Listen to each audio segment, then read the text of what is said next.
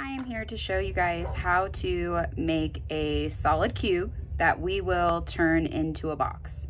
So the things you are going to need today are slip, a card or a rib, a wood tool, some sort of scratch tool, and a bevel cutter. We will be using the small side. You will also need to have seven four by four slabs, which should have sat overnight or at least a day. The first step we are going to do is take four of your slabs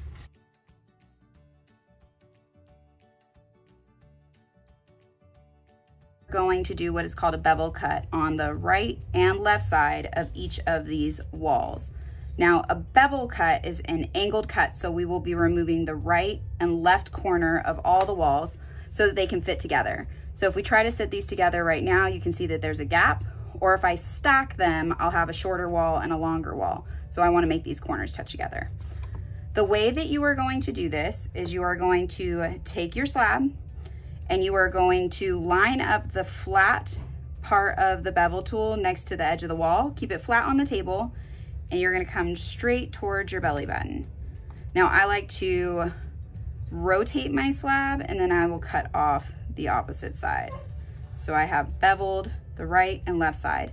I'm also gonna keep these little scrap pieces in a Ziploc bag or in wet paper towel to use for later. So here's one, I'm gonna repeat with step this step with all three slabs.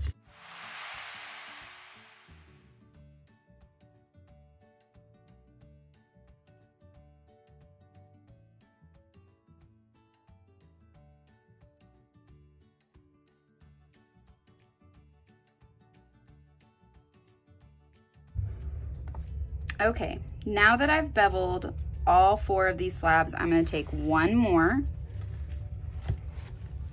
And this is going to be my floor for my box. So what I wanna do is I'm gonna score all around the circumference of the square so that they are prepped for my walls. When I score, I wanna make sure that I'm not doing light little cuts. You don't want this.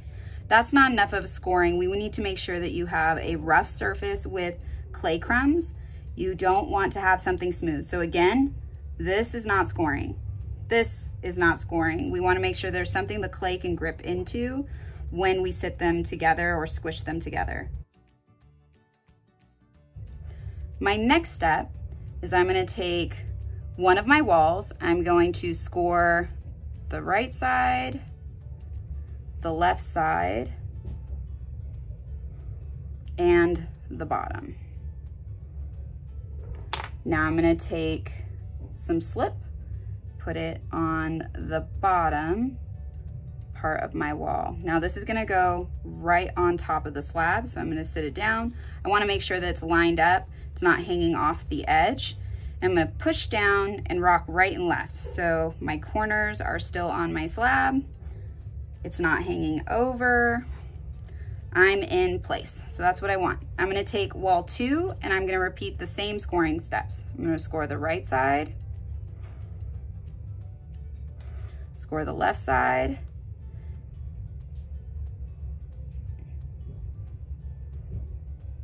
and the bottom. Now this is going to go onto this other wall. So wall two is gonna go onto wall one. So I wanna make sure I put slip on every part of clay where it is touching. So slip on the bottom.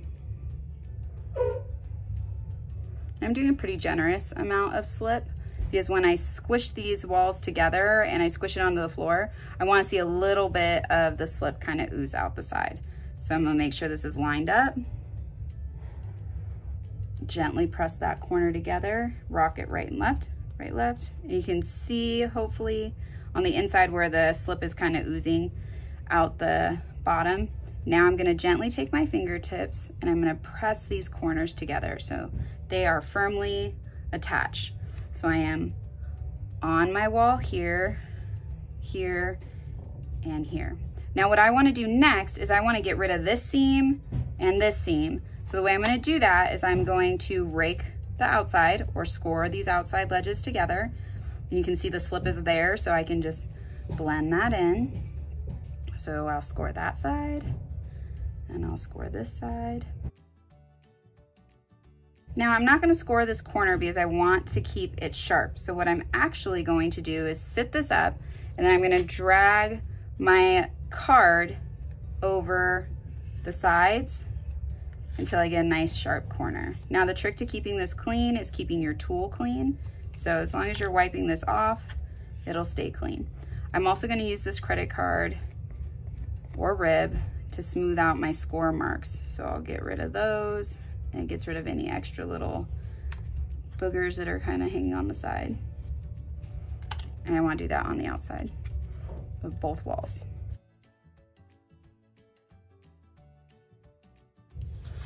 Now normally I do this where my box is just sitting this way so my slabs don't warp, but I wanted to make sure you could see. So this is really how I do this. I just keep the platform on the table and I just swipe up and down.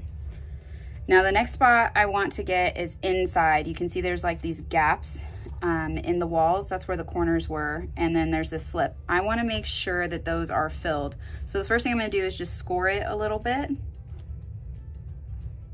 So I'm taking some of those surfaces and locking them together. I'm also roughing the surface because I'm gonna take a tiny coil. So these little pieces that we kept on the side from when we beveled the walls, I'm gonna roll those so they're nice and thin get some of this gunk out of my way. I wanna roll these so they're nice and thin like a little spaghetti noodle. So you can see it like next to my pinky. It's, it's not even, not even half of my pinky. So it's tiny little coil. Now I'm gonna take that coil and I'm going to press it into those corners. And I wanna do that both on the floor. So I'm gonna go all the way Now this little piece isn't long enough, so I need another coil.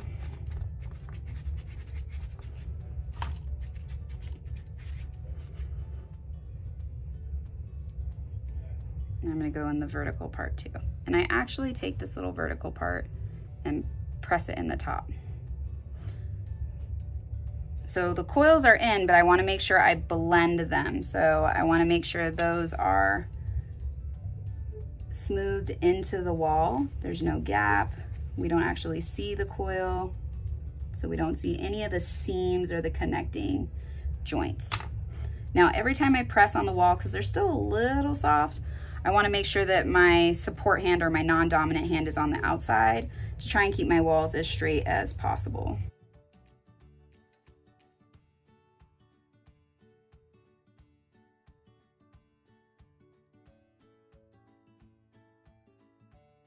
Now, if you notice, I'm not using any water. We are trying to keep our slabs leather hard so that they don't get flimsy or start to concave and roll in on themselves. So no water right now. The trick is keeping your tools clean and your fingers clean, and that will minimize the amount of clay crumbs that you have in your working process.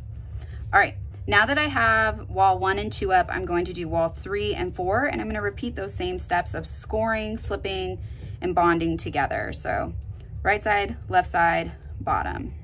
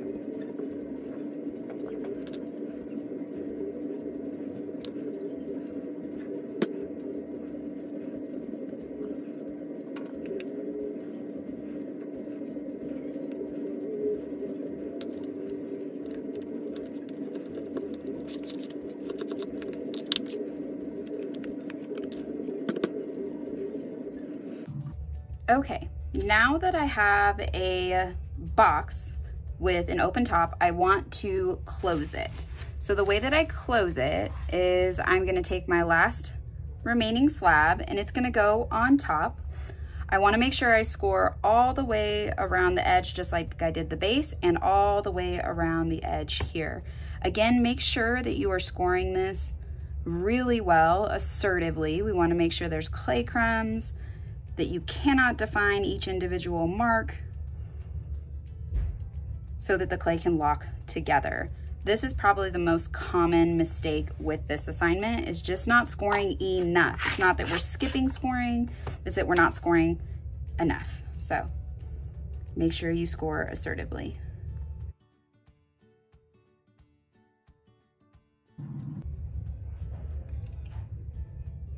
And then I am going to place slip all the way around, just like I did before. So everywhere where the walls are touching, I wanna make sure there's a generous amount of slip.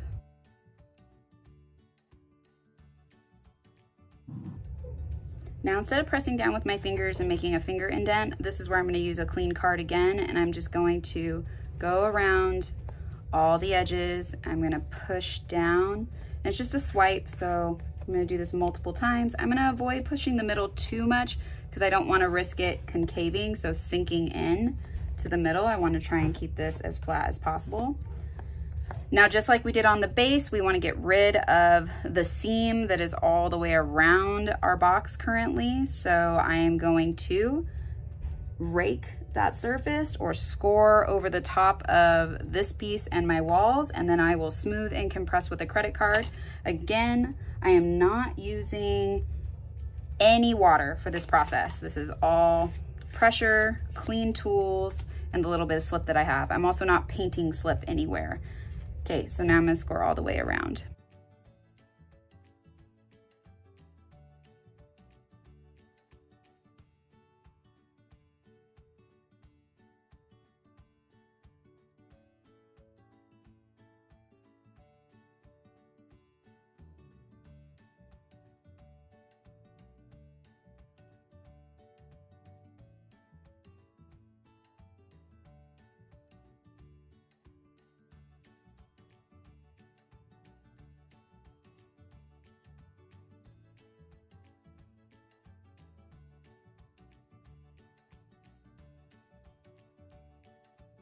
So there we have it. We have a cube where we cannot see any of the seams.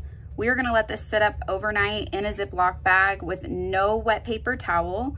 And next class, we will add our feet and we will cut a line so that we can turn this into a box.